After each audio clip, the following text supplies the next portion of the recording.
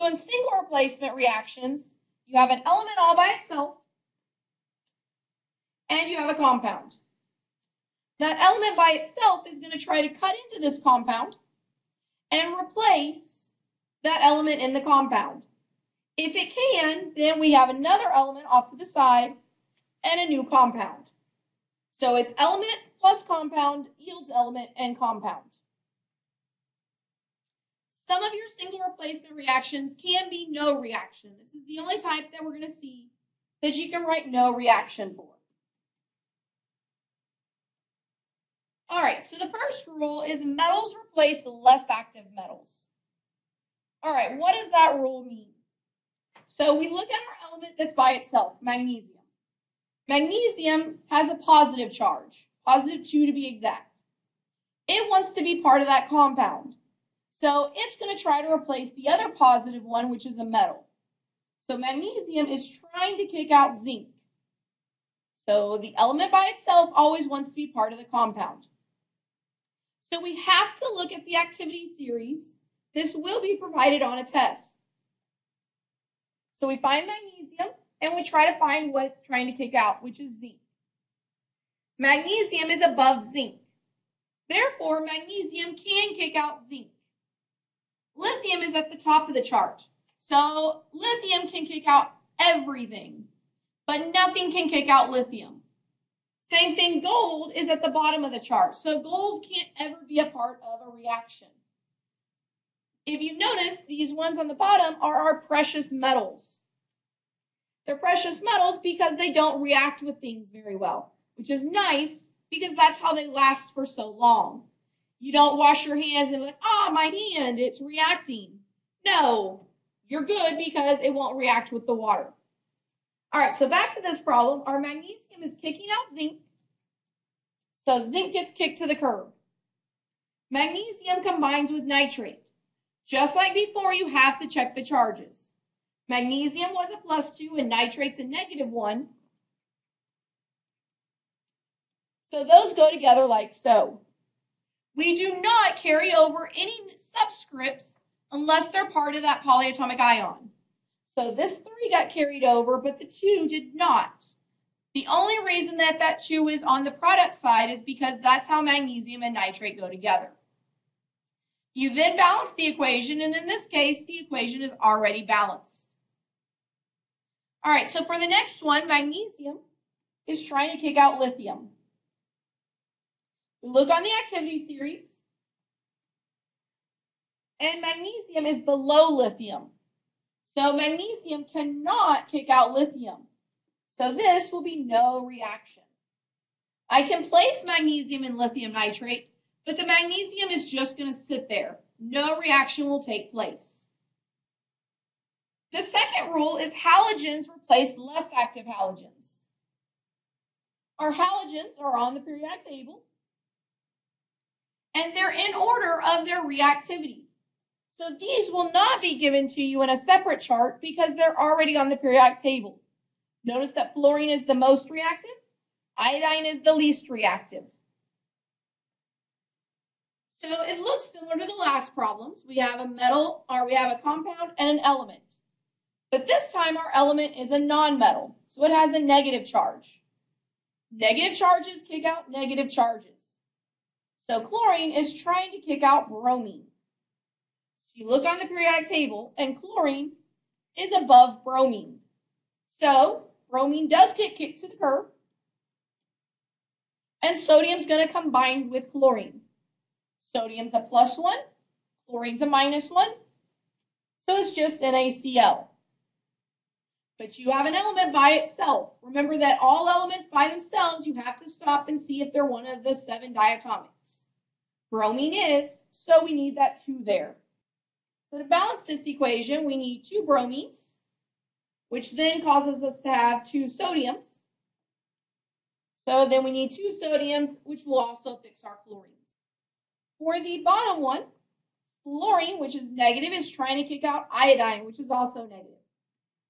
So fluorine's trying to kick out iodine. Fluorine is above iodine, so it will happen. Iodine is kicked to the curb, and potassium combines with fluorine. each have a charge of 1, positive 1 and negative 1. So they go together in a 1 to 1 ratio. So next I need to double check that iodine isn't one of the seven, and it is because these are all halogens. All the halogens are diatomic. So if you have one of these, you're always going to have a diatomic producing another diatomic if the reaction goes. So for balancing, we need a 2 in front of our KI and a 2 in front of our KF. Our next rule is metal replaces hydrogen in water to form a hydroxide. You may want to say a metal hydroxide, which is a base, plus hydrogen. On your activity series, which you would be getting, hydrogen is on the list, but when it's in water, hydrogen can only be replaced through sodium. From sodium and up can replace hydrogen in water. From lithium to the sodium can replace it in an acid. So for that first one, magnesium is trying to kick out hydrogen. For this rule, you may want to star it. You have to think of water as HOH because it's an ionic compound in this problem. So magnesium is trying to kick out that first hydrogen, not the second hydrogen as well. If you don't write it as HOH, 95% of you will mess it up. So when water is in a single replacement reaction, think of it as HOH. So magnesium is trying to kick out hydrogen. We look on the list and magnesium is below the line. So it's going to have no reaction. For B, calcium is trying to replace hydrogen. Calcium is above the sodium line, in which case it will kick it out. So we have hydrogen gas. And, and then calcium is going to go with hydroxide. Calcium's a plus 2, hydroxide's a negative 1. So they go together like so. On the side of your paper, it may help if you write the charges and what's going together. Because if you just write CaOH, it will be wrong. No partial credit. It is wrong. That is not how calcium and hydroxide go together. Hydrogen gets the 2 because it's diatomic. You can then go and balance the equation. We have four hydrogens and two oxygens, so we just need a 2 here. And now it's balanced. And the last single replacement rule is a metal replaces hydrogen in an acid to form a salt plus hydrogen. So magnesium is trying to kick out hydrogen. Since it's an acid, it will kick out all the hydrogens if it can kick it out. We look at the chart, and magnesium is above hydrogen down here, which is where the acid line is. As long as it's above this hydrogen, it will kick it out in an acid. So magnesium kicks hydrogen out. Hydrogen's diatomic. And then magnesium combines with sulfate. Magnesium's a plus 2, sulfate's a negative 2. So we get that. We balance our equation, but in this case, it's already balanced.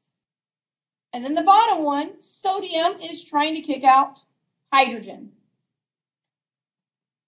Look at the list, and hydrogen is down here, sodium's way up there.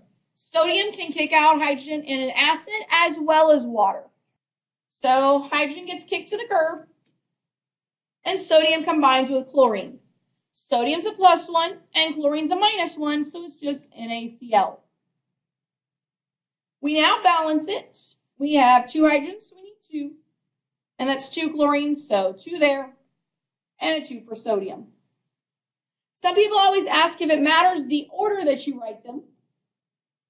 You could have written NaCl plus H2, and that would have been fine as well. It doesn't matter the order with the plus sign. What does matter is you could not write ClNa plus H2.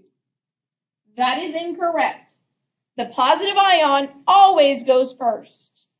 So it must be NaCl, not ClNa. Again, this is wrong and you will not get any credit for that. And the last type is double replacement. In a double replacement reaction, your positive and negative ions in a compound are exchanged. So the cation combines with the anion in the other reaction. So A goes with D. You can also see it up here in our animation. Our cation goes with our anion in our products. And then our cation goes with the anion of the other reaction. Notice that the cation is always written first in the compound.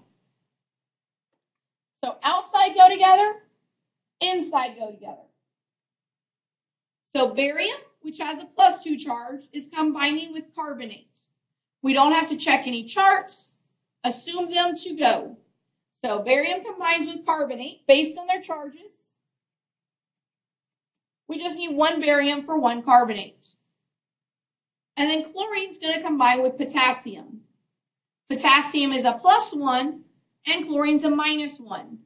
You have to write the positive charge first. So K combines with Cl. Remember that it is not CLK and it is not K2Cl2. This is our skeleton equation, which we then go back and balance with a 2. And now we have equal amounts on both sides. Go ahead and try B and C on your own. Restart when you have answers to B and C.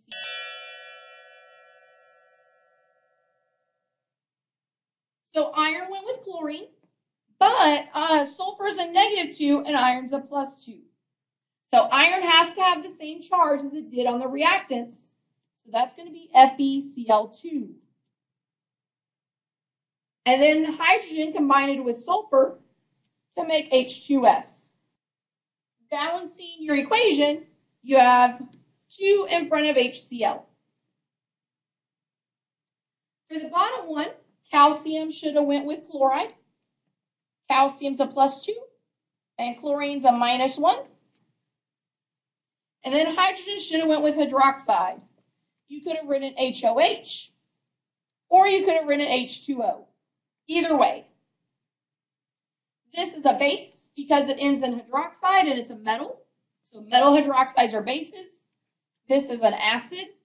So when you have an acid and a base, one of your products will always be water.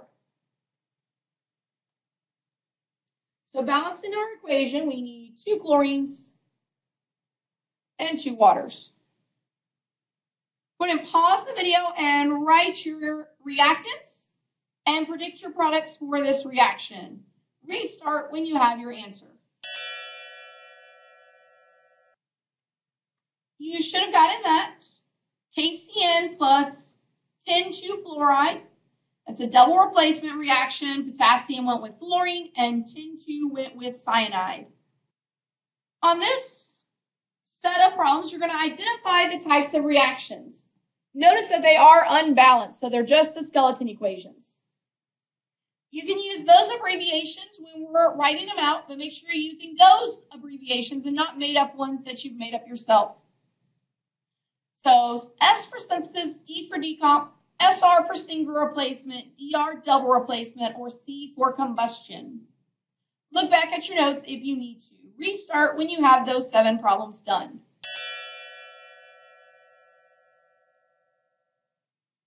So for the first one, we have a hydrocarbon and oxygen. Basically, we have an element and a compound, but our element is oxygen, and our compound is a hydrocarbon. Also notice your products are CO2 and water. Therefore, that's a combustion reaction. For two, you have an element and a compound. And you ended with an element and a compound. Notice aluminum kicked out hydrogen.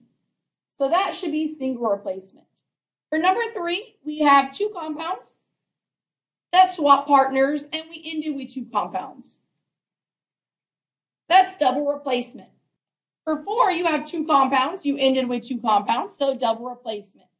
For five, you have one product. One product is always synthesis. For six, you have an element and a compound, and you ended with an element and a compound. Notice they swap partners. Just one swap partner, so that's single replacement. And for seven, you have one reactant. It broke apart, so that's decomposition.